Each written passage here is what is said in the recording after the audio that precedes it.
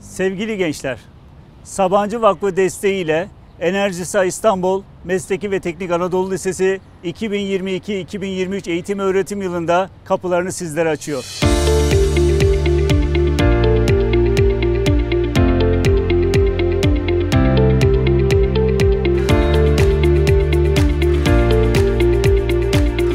Yapılan araştırmalara göre önümüzdeki dönemde dünya çapında 9 milyon yeni yeşil istihdam ortaya çıkacak. Enerji sektöründe mesleki ve teknik eğitimde anahtar yetkinliklerin geliştirmesi ve her zaman çok önemli oldu. Yenilenebilir enerji sektörü ve benzer şekilde iş piyasasında nitelikli insan kaynağına ulaşmak gitgide daha kritik hale geldi. Enerjisi olarak destekçisi olduğumuz Enerjisa İstanbul Meslek ve Teknik Anadolu Lisesi'nde mezun olan gençlerin sadece Türkiye'de değil, tüm dünyada geçerli olan bir meslek sahibi olacağını ve ilgi göreceğini düşünüyorum. Bu sayede Türkiye'de meslek liselerine yönelik algının değişmesine ve ilginin artmasına sebep olacağını düşünüyoruz. Enerjisi enerji olaraksa çalışanlarımızın mevcut potansiyellerin geliştirilmesinin yanında en iyi yeteneklerin organizasyona dahil olmasını amaçlıyoruz.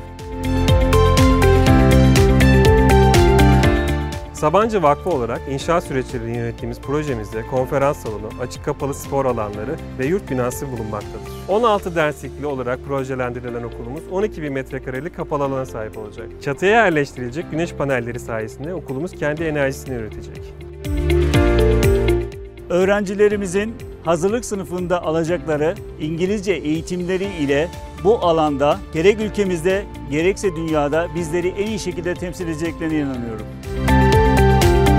Yarım asra yakın bir süredir tüm Türkiye'de eğitim, kültür, sanat ve sosyal değişim başta olmak üzere faaliyetlerimizi sürdürüyoruz.